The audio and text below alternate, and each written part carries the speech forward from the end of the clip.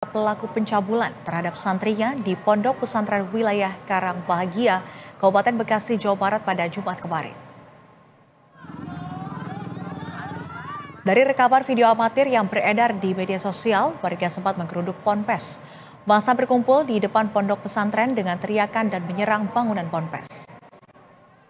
Kompol Widodo, Wakasat Reskrim Polres Metro Bekasi mengatakan sejauh ini ada tiga korban yang telah melapor ke polisi.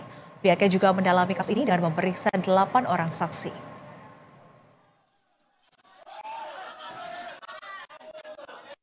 Dua pelaku sudah kita amankan, kemudian akan dilakukan penyidikan. Boleh tahu dan itu korbannya sendiri berapa sih? Korbannya sudah melaporkan ada tiga. Nanti akan kita uh, lakukan penyidikan lagi. Apakah masih ada korban? Dan terduga pelaku ini pemilik ponpes atau seperti apa? Uh, nanti dalam masih dalam penyidikan.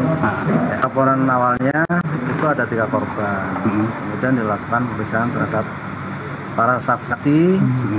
Nah, kemudian dari